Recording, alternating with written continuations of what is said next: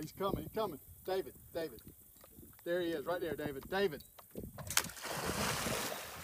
All right, point, point, point. This was the moment George Mourounas and his three friends realized they caught a beast an alligator weighing more than 700 pounds and longer than 12 feet. It was an adrenaline rush for sure when he came up when we saw him for the first time. The four hunters were in Santee for the day looking to nab a trophy gator.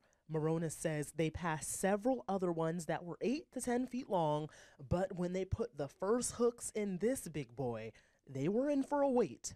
He just sat on the bottom in about seven feet of water for a solid hour. And then a fight.